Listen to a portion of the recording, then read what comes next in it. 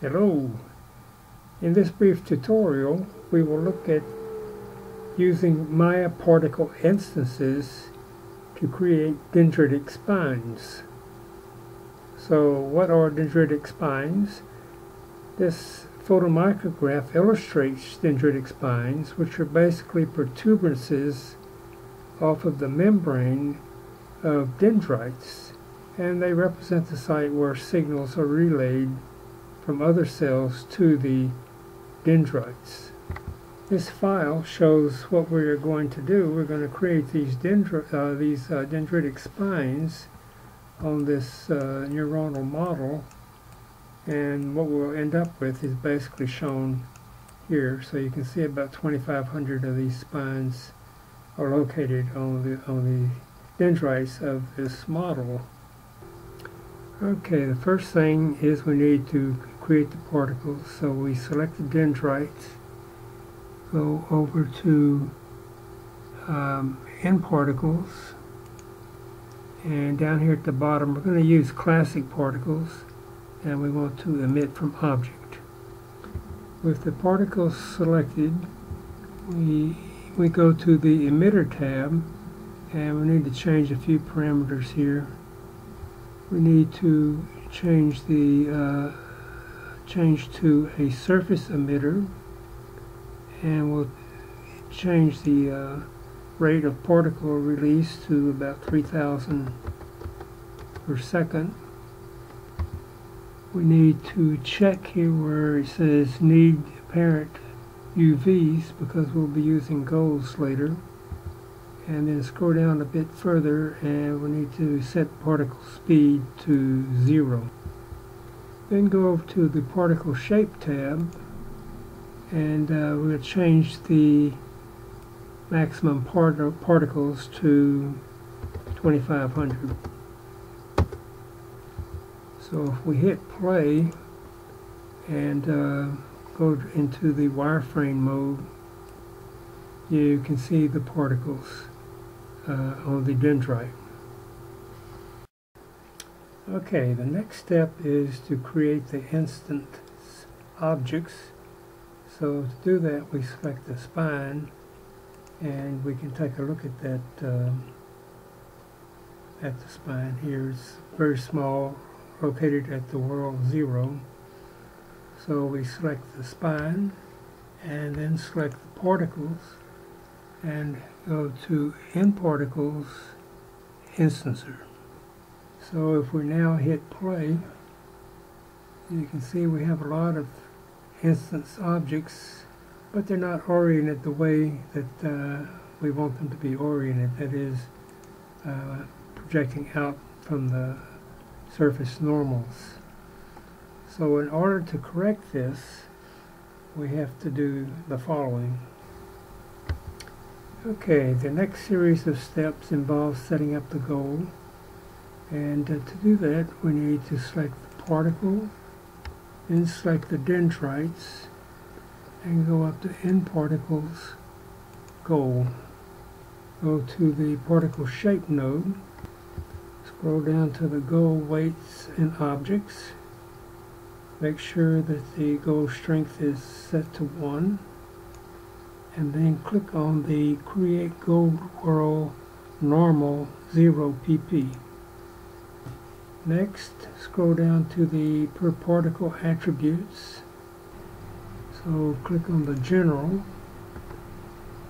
and go in and select goal U and goal V and parent U and parent V and add those in.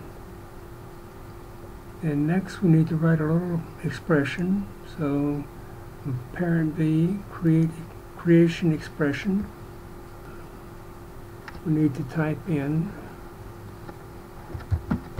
goal V equals parent V and then goal u equals parent u.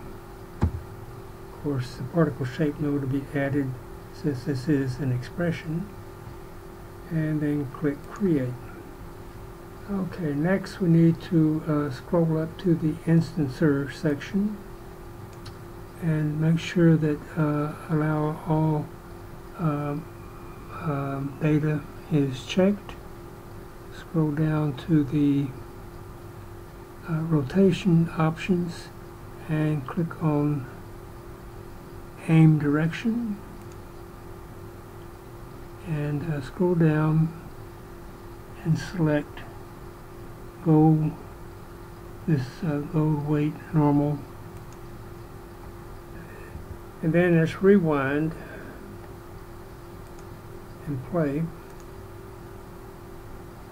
And you can see now the uh, particle instances are lined up or oriented fairly well pretty much the way we want them to be they're all protruding out from the uh, from the dendrites. Next, let's uh, create a, a uh, random scale for the instance objects. So with the particles selected, scroll down to Add Dynamic Attributes, click on General, click on New, type in the uh, attribute name, which we'll call at scale pp. This will be a vector per particle and click OK. So here is our uh, scale variable and we want to make a creation expression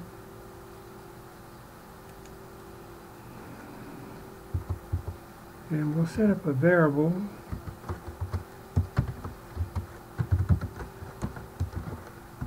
and set that variable equal to a random number, say 0.7 to 1.3 and then we'll set the uh, scale attribute scale pp equal to and we'll repeat that variable three times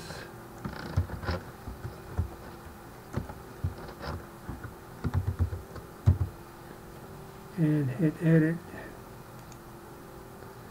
And that worked.